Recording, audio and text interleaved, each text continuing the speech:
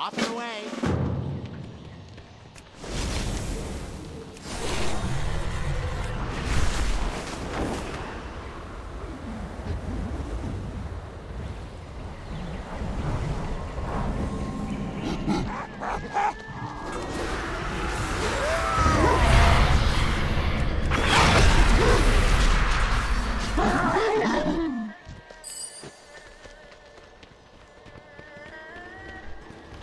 Mm.